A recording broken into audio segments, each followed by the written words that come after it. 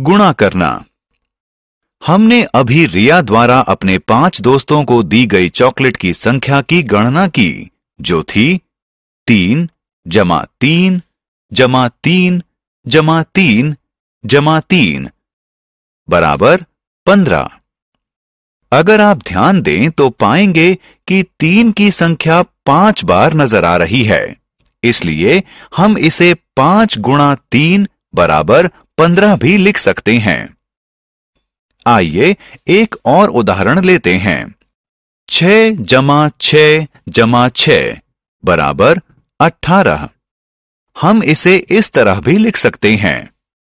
तीन गुणा छ बराबर अठारह, क्योंकि छ तीन बार आ रहा है।